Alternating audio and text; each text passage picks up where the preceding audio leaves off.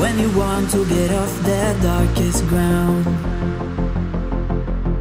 But gravity pulls you straight down.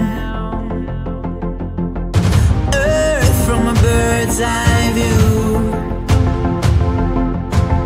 You should grow feathers and see this